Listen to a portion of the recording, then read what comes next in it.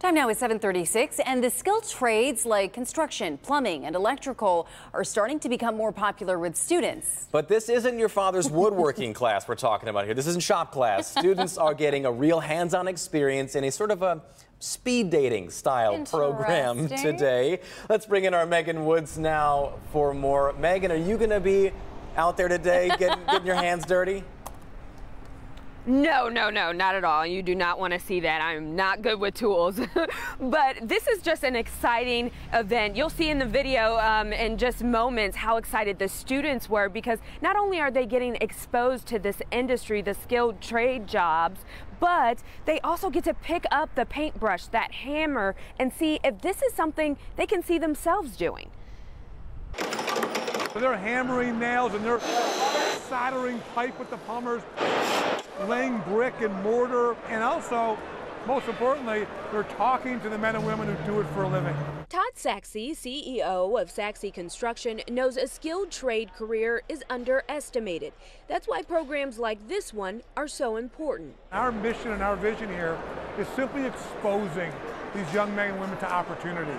And if they choose to pursue something, we're showing them the path to that. For the hundreds of mostly juniors and seniors who attend, the day is full of surprises, like facts they didn't know. You can go to school and get paid for going to school while learning because it's like the it's the other way around. But you got to pay to go to school for college. It's very amazing that you can just go to trade school and come right out of trade school making six figures, depending on what you do and how you do it. And interest they didn't know they had. The plumbing is really catching my eye because plumbing is very important. And move to the next segment to your right. Once I got here and I seen it, I was like, oh, I might like this. I'm like, I took a couple of papers and I'm gonna sign up. And throughout the day, those surprises quickly turn into inspiration.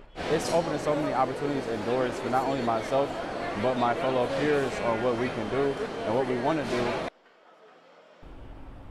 Those juniors and seniors were able to walk away with business cards, mentorships, and a list of every career that was at the academy with the phone number and email, how to get in touch with someone to start that path.